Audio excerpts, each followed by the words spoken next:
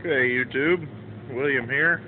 Uh, just finished checking the oil and antifreeze on our uh, main PTO tractor for the uh, air compressor system, which we, uh, which is in a previous video I had. Uh, this is a 404 LP gas. Uh, there's supposedly only 24, 2,500 404s ever made. I don't know how many of them are LP gas, but just thought I'd go over the tractor a little bit. Uh, it's kind of getting all oily. It all it does is set and run a PTO, which I showed you in the uh, PTO air compressor video. Uh, the only thing we really did to this tractor, we got it out of Texas. People delivered it to us. Was uh, uh, change the uh, rubber on the rear end and uh, repaint the rims. One of these had a crack in it, and I was able to just weld it up real nice and uh, make it to where you couldn't even tell it ever had one.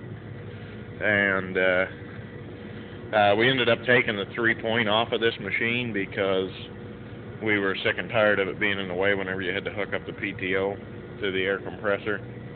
Um, and uh, it was having a problem running. Uh, we changed the points in it to make it, uh, hopefully it'll cure it. It would uh, die and then it wouldn't want to start. So did that and it's starting like a champ now.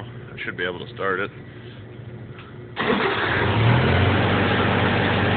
Always, always been a great tractor. Always started for us. Uh, really been kind of bulletproof. Uh, my father thinks it's just a Super C uh, Farmall with new sheet metal, which I kind of agree with him. It's just a four-speed like our 140 has.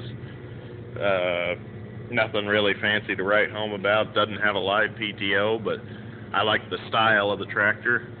It just kind of clean, and we enjoy it.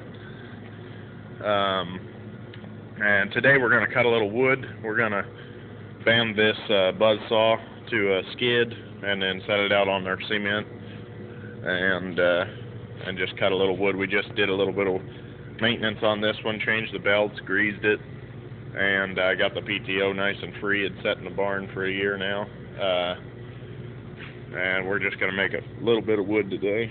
And uh, I thought I would uh, give you a video. So we'll see you next time.